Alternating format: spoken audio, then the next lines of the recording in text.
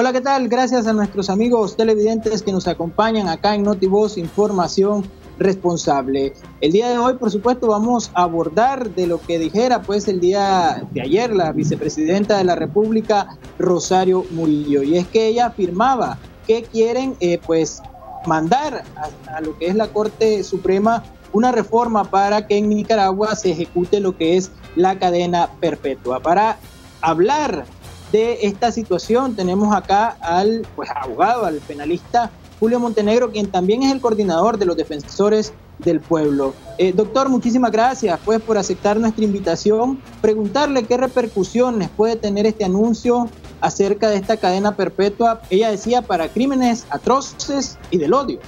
Sí, pienso que a la hora pues de aplicar este, en determinado caso lo que puede hacer una cadena perpetua, en principio es una pena bastante peligrosa eh, dentro de un sistema donde de repente eh, se puedan cometer algún tipo de injusticia y se pueda extender el significado de lo que son algunos tipos de delitos como los delitos de odio, porque se pudiera malinterpretar, ser extensivos y debería en todo caso de precisarse si, por ejemplo, este tipo de penas de cadena perpetua se van a aplicar a aquellas personas que después de haber abusado sexualmente a una menor de edad, se puede establecer el rango de edad de estas personas que sean afectadas, puede ser una persona anciana o puede ser una persona con capacidades distintas. Después de eso, que éstas sean privadas de libertad, incluso si hay algún tipo de enseñamiento, como en el caso de la menor de edad, que tuvimos informaciones de que fue macheteada de manera reiterada. Entonces, para estos casos, de manera específica, se pudiera plantear la posibilidad, en caso de que se reforme con una cadena perpetua el Código Penal, establecer para este tipo de delitos de manera concreta, porque es en relación a este tipo de delitos que aparentemente pues se está promoviendo una reforma del Código Penal. Se debe recordar también que al momento de hacer algún tipo de reforma dentro de lo que son la aplicación de las penas, tendríamos que irnos también a la parte constitucional, donde se establece que en todo caso la pena máxima a cumplir es la pena de 30 años. Entonces ahí pasamos por lo que es la reforma a una ley ordinaria, el Código Penal, y la reforma a lo que es la Carta Magna, que es la máxima de las leyes dentro de lo que es la pirámide de Kelsen, decíamos nosotros en la, en la academia. Precisamente, doctor, eh, ¿cuáles serían nuestras leyes? Usted ya me hablaba, por ejemplo, que tendríamos que reformar que la pena máxima ya no serían 30 años. Además de esos artículos, ¿qué otros artículos y leyes se tendrían que reformar para cumplir pues con este, con este dictamen, con esta reforma que quiere enviar el, el presidente de Nicaragua? Bueno, de alguna manera se afecta lo que son algunos principios generales, por ejemplo, estamos hablando de la ley 473 eh, que habla de un sistema penitenciario humanitario. Estamos hablando que la idea dentro de este sistema penitenciario era pasar por ciertas etapas que tendría que ver con el régimen de adaptación, el de trabajo, régimen semiabierto, régimen abierto y el de convivencia familiar. Es decir, incluso se contemplaba que la persona pudiera salir antes del tiempo ya establecido a través de una sentencia del juez que le tocó llevar lo que era el proceso para determinar si era culpable o no esta persona. En todo caso, ¿qué se piensa dentro de lo que puede ser un derecho penal moderno? Sería en todo caso pues cumplir con esos requisitos, que efectivamente haya un sistema reeducativo, eh, que haya un sistema penitenciario donde los funcionarios actúen con un comportamiento ético, que no se maltrate a los prisioneros, que no se maltrate a los familiares de los prisioneros, entre otras situaciones que se pudieran estimar, ¿ve? y no por vía de ampliar este, algunos eh, tipos de pena, porque en todo caso, pues nosotros hemos sido testigos de cómo se ha cuestionado lo que es la pena de muerte en otros países. Eh, se ha cuestionado la aplicación de dos o tres cadenas perpetuas en otros países. ¿Por qué? Porque de repente pudiera haber una solución distinta a esa. Por ejemplo, eh, que la persona que va a cumplir 30 años cumpla los 30 años cuando se trate estos delitos de, de abuso sexual seguido del asesinato o del homicidio. Pero sin embargo, pues a veces nosotros nos damos cuenta de que han habido personas que han salido en tiempo mucho menor del establecido cuando se trata de este tipo de delitos de índole contra la libertad sexual. Precisamente entonces, doctor, quiere decir que una cadena perpetua es,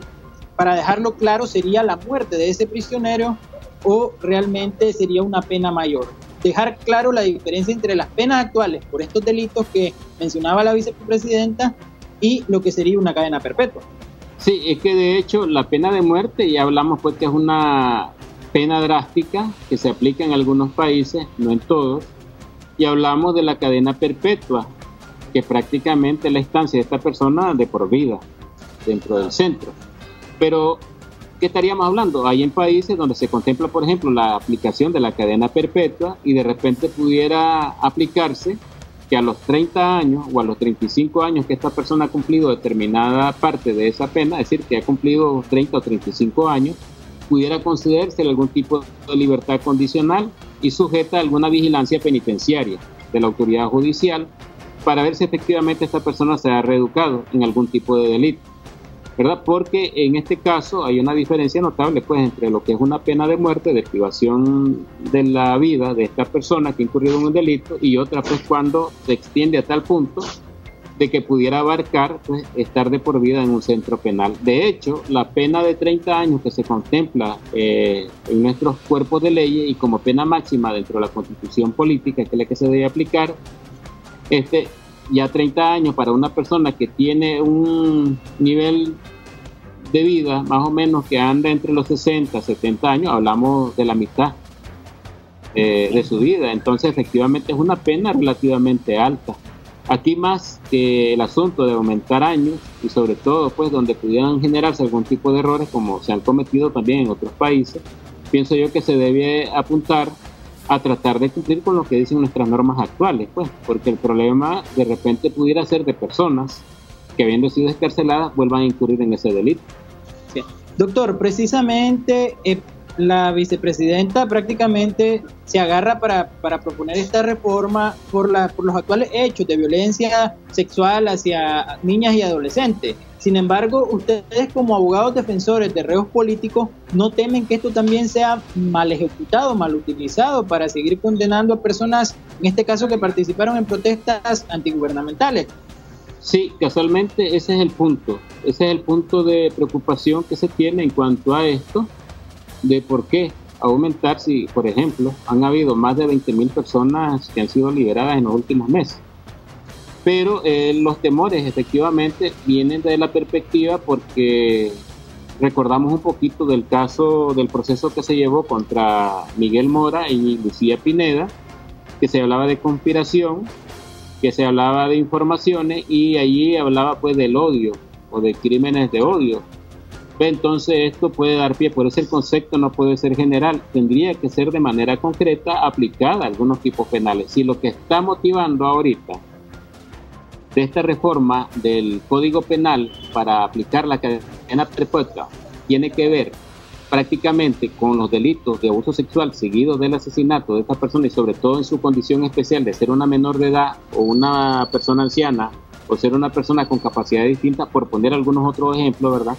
Entonces, pudiera precisarse de esa manera, pero hablar de un concepto general o aquella persona que cometiere delitos de odio o crímenes de odio, eso pues se pudiera prestar para hacer interpretaciones o analogías y dentro del Código Penal